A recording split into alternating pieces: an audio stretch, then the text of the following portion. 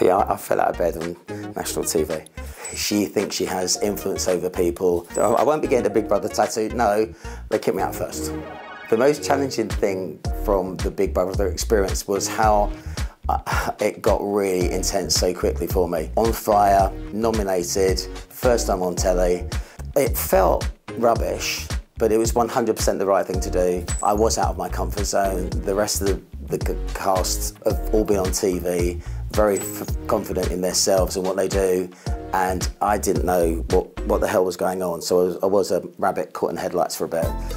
I had the opportunity to hang around with Louis Walsh and Sharon Osbourne, um, Mrs. O.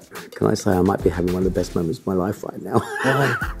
it was really interesting because I got to see behind the, the scenes of two best mates who hadn't seen each other for ages doing a proper catch up and every time they're talking they just invite you to sit with them. And they're talking about the most random things and they were so honest and open. They were so fun. It's, it's unbelievable. Uh, I got to hang around with Lulu and Mrs O. Wow. Ekin-Su um, has a superpower in the fact that she's got over 3 million followers and she, she uses that as a threat, a very um, veiled threat that um, more people are going to vote for her than anyone else. She thinks she has influence over people and she basically shows her dislike for people or anything uh, overtly. yeah, I, I fell out of bed on national TV. Well, he's, the, he's a lad and he moved over and we're sharing a bed. I'm 59, I shouldn't be doing that.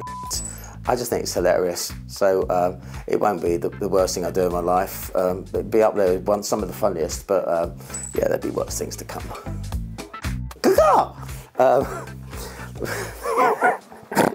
can't believe I'm saying this. My favourite uh, film is the trilogy of Pitch Perfect.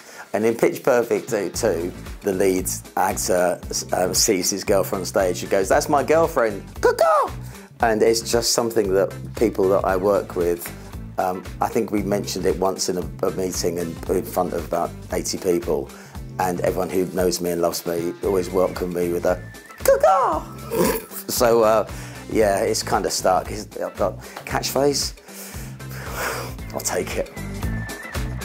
My dream final two would be uh, Fern Britton. She's amazing, uh, she's caring, she's loving, she's everything and more that I wanted her to be. But there is one person who isn't doing this for any, any self-publicity, making more money, trying to do more for themselves, and that's the man, the myth, the legend, the most beautiful person I think I've met in a million years.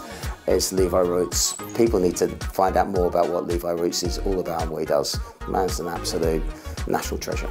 He's had more impact on me in four days than most people I've met in my life.